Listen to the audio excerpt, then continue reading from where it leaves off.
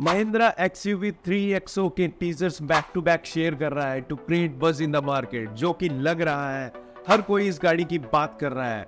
महिंद्रा ने इस बार कमाल कर दिया है X U V three XO जिसका एक्सटीरियर धमाकेदार इंटीरियर शानदार और वही इसके DRLs ने तो बोकाल मचा रखा है। इस वीडियो में हम जानेंगे महिंद्रा XUV 300 के इस फेस फेसलिफ्ट में हमें नया क्या ऑफ़र करेगा। एंड जो माइनर डिटेल्स महिंद्रा ने इस नए टीजर्स में हाईलाइट की है, हम उसके बारे में भी आपको बताएँगे। ये गाड़ी मार्केट में कब लॉन्च हो जाएगी और कौन से प्राइस सेगमेंट में हमें देखने को मिलेगी। So without wasting any time let start the video Mahindra XUV 300 का फेसलिफ्ट लेकर आया है, जिसमें उसने पूरी गाड़ी की काया पलट कर दी है, क्योंकि महिंद्रा ने फीचर्स के अपडेट के साथ XUV 300 का नाम भी अपडेट कर दिया है। आई थिंक महिंद्रा ये चीज़ XUV 500 एंड 700 के साथ भी कर सकता है। ओके गाड़ी की लेंथ की बात करें तो वो है चार मीटर की लेंथ से कम ही रहने वाली है due to tax benefit so ये XUV 400 की तरह बड़ी नहीं होने वाली है। फ्रंट की बात करें तो इसके डी तो अलग ही लेवल के लग रहे हैं। बाकी LED headlamp and front grille जिसमें डायमंड कट एलिमेंट्स का यूज़ किया है, वो काफ़ी अट्रैक्टिव लग रहा है। महिंद्रा ने इस एलिमेंट्स को गाड़ी के बाकी एरियाज़ में भी यूज़ किया है। बाकी इसका फ्रंट लुक काफ़ी अग्रेसिव है, जो बॉक्सी एंड मस्कुलर लुक में काफ़ी अपीलिंग लग रही है। व्हील्स की बात करें तो महिंद्रा आर सेवनटीन सत्रह इंच के व्हील्स दे रहा है with piano black alloy wheel that look like charm side look की बात करें तो वो लगभग सेम लग रहा है। हाँ सनरूफ इसका हाईलाइट पॉइंट है, जो काफ़ी बड़ा है एक नॉर्मल सनरूफ से।